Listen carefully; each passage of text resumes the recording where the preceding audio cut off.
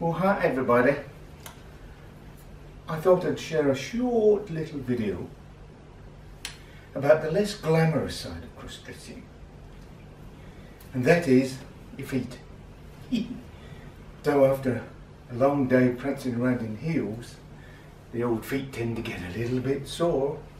So, when you're running around the house, doing all the tidying up, what would you do? Put on your comfy pair of slippers.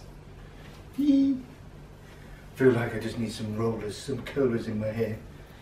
And I look like somebody of Coronation Street. So,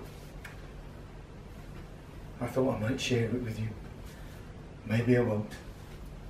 Shatter the dream. Because I look very, very short when I don't have my heels on. But anywho, thanks for watching if you do, if you don't. If I let you watch and if I don't. Anywho, bye bye.